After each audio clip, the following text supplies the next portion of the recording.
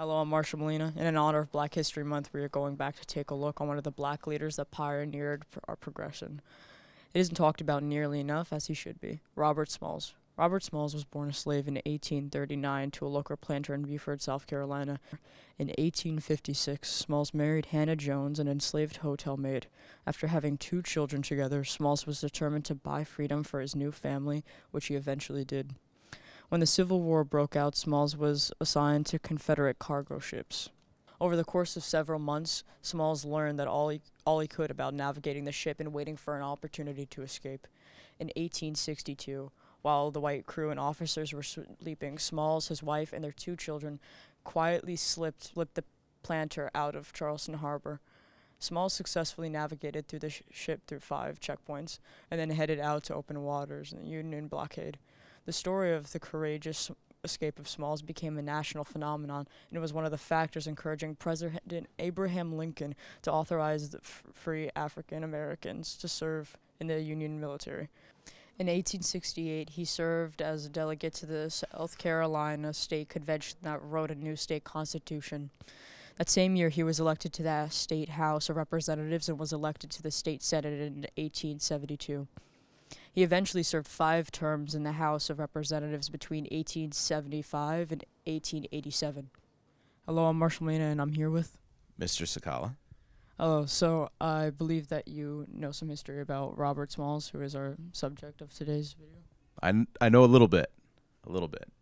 Okay, so could you tell us what you do know about him? Um, so I know he was he was a slave um, who then I believe ended up uh, commandeering a, a ship as a privateer during the Civil War, um, in which then he, he kind of made a name for himself, became sort of a folk hero um, in African American circles, and then I believe eventually ended up getting himself elected to the House of Representatives. Do you think that like enough people know about Robert Smalls and other like amazing like black historical leaders in history like him? Uh, no, I don't. Um, I, I think the the first time that I had heard his story, um, my kind of reaction to it was like that's the the kind of like the perfect script for a movie, and I'm surprised they haven't made a movie about it yet. Um, but I think that yeah, that's that's one of those stories amongst many that we don't talk enough about. Um, you know, and I think it's something that our our history curriculum has tried to address recently. Um, and something that we've definitely tried to address in, in our history class as well, making sure that um, more African American voices have been better represented in the last couple of years. Hello, I'm Marshall Molina, and I'm here with. Mr. Burnich. Okay, so I know partly from asking that you do not know much about Robert Smalls. Is that right? Uh, yes, I'm, I'm ashamed to say I don't I don't know the name well. Okay. Well, Robert Smalls was an enslaved African American um, during Civil War times who escaped to control of a Confederate ship and with his family escaped and went on to have a political career, a strong political career.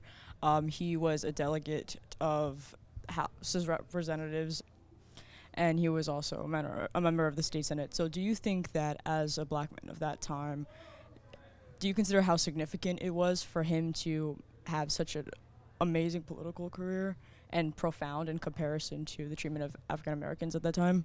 And what do you think about that? Oh yeah, I mean, of course. Uh, y- y- how to start, right? First, an escaped slave who not only um, is able to escape, which is you know against the odds, but then take over a ship. I mean, that's fantastic, and get his family out. Um, that type of thing. I mean, that's that's the type of story that you know Hollywood is probably looking for the movie rights for. Um, but then to come back to you said South Carolina, correct? Yes. Um, to then have a political career after the war, which granted you still had the U.S. Army kind of occupying and enforcing um, the 13th and 14th Amendments by that time, and probably 15th. I'd have to check the dates. Um, that allowed um, former slaves to have political careers. Um, I mean, it's amazing. It, it, you know, it created an equality that, especially in the South, was unheard of at that point.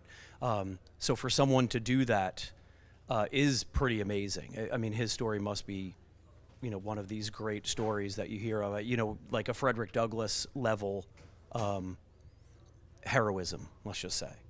Um, knowing that you didn't know about this story beforehand, do you think that the fact that this story wasn't talked about and other stories similar to it weren't talked about. Although there are cases like Frederick Douglass and their stories being published and taught in schools, do you think that we should start re-educating and bringing back these stories and informative history about Black Afri- African American successes? Uh, yeah, I mean, I think um, there there are probably a million stories out there that we just don't know. Um, ordinary people who survived slavery, escaped, or you know whatever their circumstances were, that um, you know haven't been written down just because they didn't write it down or they moved on. Um, I think these are the type of stories that, if we have access to them, um, are great African American stories and frankly are great American stories of how ordinary people can take on extraordinary circumstances, which frankly is a lesson for all of us even today, regardless of circumstance and color and things like that. Um, so, yeah, these stories, when found, and I'm sure there are plenty that are lost, right? Just because memory is and somebody didn't write it down and it's gone. Um, when you find stories like this, um, they should be celebrated um, wherever they can, regardless of the month or the, you know, what we say is when we're going to do these things. If it's a good story, it's a good story. Thank you very much. You're welcome. So I'm here with Makai Crump. Generally, what do you have to say about this story, and how does this story, is like well knownness and just general significance in African American history, how do you think that affects our knowledge and our education system? Uh, I feel like a lot of my people's advances have been sort of pushed away and kept away, just just in sort of light to kind of kind of discredit. Not not saying now now times they openly try to discredit, but I feel as though like there's many stories that show how how talented and how and how uh, how how many heroes that we breed. Not not only African Americans, but just people in general. So I feel like I feel like a story like this coming out, it's good for not only African Americans, but it's good for everybody to show that even when times are going against you, you could still rebel against them and come up on top. Do you have any comments or maybe figures that you'd like to share with us today, um, like in honor of Black History Month? Is there any like Black or African American people that are significant in your life?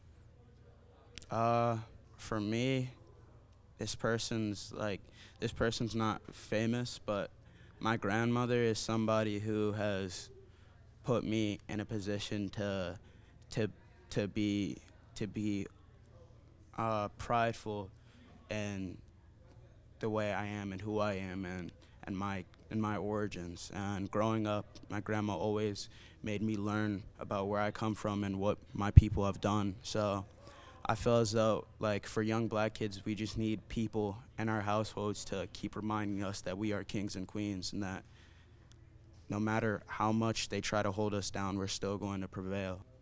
So, as a young black man in the 21st century, how do you think this story pertains to and is significant to you? Uh, I feel like it's significant to me, but not only every other young black man, because it shows how it shows how life is what you make it. I mean, for a man like Robert Smalls coming in, coming into life as a slave and and having people try to bring him down constantly for years and years. I feel as though his his mindset to be strong enough and to do this and to free his family from captivity and slavery. I feel like I feel like it's just it's groundbreaking, and I feel like not only not only are we seeing him him later on become a delegate in the House of Representatives, but we also see we also see him become more of a more of a legend for black people there's always somebody who's going to who's going to step up, and there's always somebody who's going to who's going to try to help people. Stri- it's just important because